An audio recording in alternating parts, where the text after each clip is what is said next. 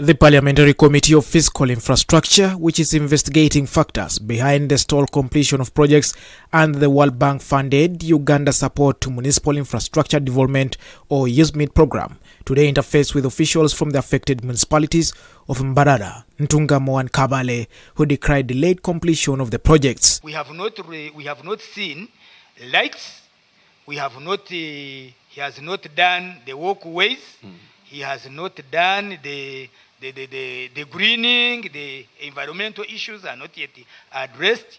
So we still have a lot of work which cannot be finished within one week or two weeks. They expressed skepticism over Multiplex Limited's capacity to complete works by 31st of December this year, saying the contractor is thin on ground and all projects under him are not progressing well. But I highly doubt that by 31st of this month, which is uh, approximately two weeks, I highly doubt whether the contractor will have achieved the substantial completion. able to understand that they were to compensate certain events, rain, the, delay, the change in the designs, and what has been said.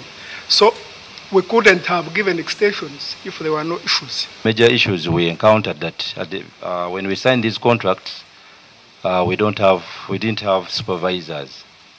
The procuring, the, the, the PDEs, our employers procured the consultants late.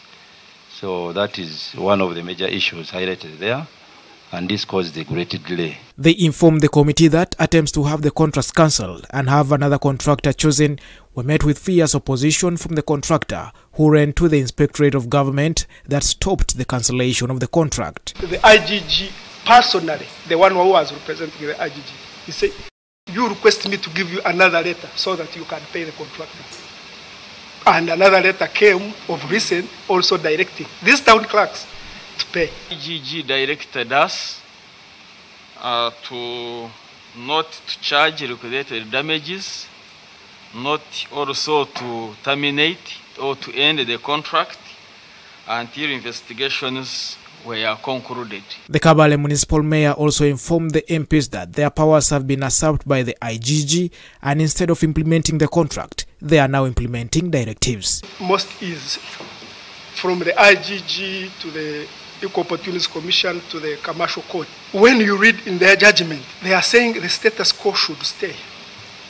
And no one from the IGG to the Commercial Court to, is explaining the status quo. He came and said, no, this should be done like this. And actually, I pity these tech- technical people at one time.